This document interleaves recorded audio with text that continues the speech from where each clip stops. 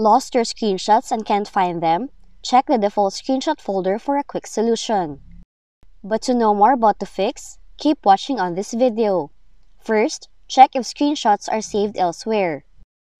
Do it by opening Settings, navigate to Storage, find Change where new content is saved under More Storage Settings, click it, and in the new photos and videos will save to option, check the save location for your screenshots. Then, go to that location to retrieve your screenshots. But if you still can't find it, check OneDrive settings by opening OneDrive, go to Settings,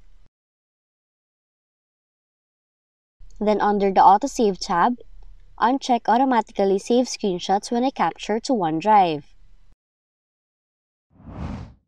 Additionally, search the file by typing the file name in the Windows Explorer search bar. But if you think you lost permission to the Screenshots folder, check Privileges by opening Screenshot folder, right-click on it, select Properties, choose Security tab, click on Edit, and check the checkbox in the Full Control field.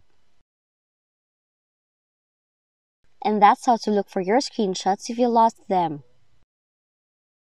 If you found this video helpful, kindly like and subscribe. You may also click and turn on the notification bell so you can be notified from whenever we release new videos.